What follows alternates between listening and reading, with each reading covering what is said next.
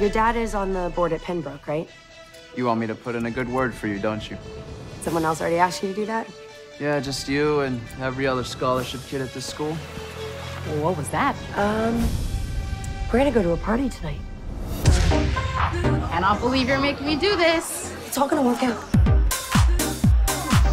Oh, looks like you could uh, use a partner. You make this cup? I'll make sure my dad writes you that recommendation letter. Have recovered three bodies, and now looks like there's some suspicious activity. Does anybody see my sister? One of you knows something. She locked the door. Schroeder, I saw the video with Melissa. Everyone! Get out! No! We're not getting out until we give them that phone. That's why this is going to the police. Got 10 seconds to give me back that phone.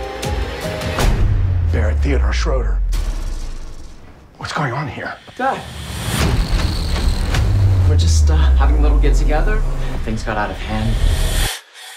It's all cool. Everything's No, cool. everything is definitely not cool, young man.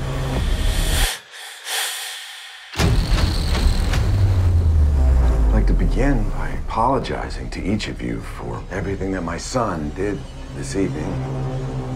I can't let them get away with this. I don't feel so good. You didn't really think I would let you hurt my family, did you?